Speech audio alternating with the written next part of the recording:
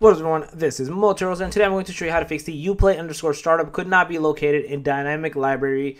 So let's get right into it. So this is a uh, uplay underscore r1 underscore loader 64.dll error that happens because the, the dynamic link library is not being found, right? So there's a few ways to fix this. The main reason this is happening is because of your antivirus system. So if you just go to virus and threat protection and you go into your uh, where is it protection history, the first thing you can do is if you find that specific DLL that is not basically being blo- that's being blocked, I should say. You click into this, you go into the actions, and you basically do allow this specific one. That's one of the first things that you can essentially do to make this issue go away. The next thing you can do is you go into virus and threats, and there's a few things that you can do over here. First is you can go into manage settings and you can turn off certain things such as like real time protection and a few other things over here. Again, this basically makes uh, I mean, it makes your computer vulnerable, but it makes you be able to run the specific uh, games and whatnot that may be causing issues, like whatever game it may be, like Assassin's Creed or something, right? So pretty much you can go there.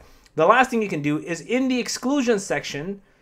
So in here, you can essentially add an exclusion. So it says right here, add or remove items that you want to exclude from Microsoft Defender. So you could basically add the Ubisoft folder or Uplay folder, whatever folder, or the game itself's folder in here that will cause this to not basically pop up as an error. So yeah, that's basically it. If you guys are a video, please subscribe. Go and try to make sure to subscribe, click that notification bell. And that, much out. Peace.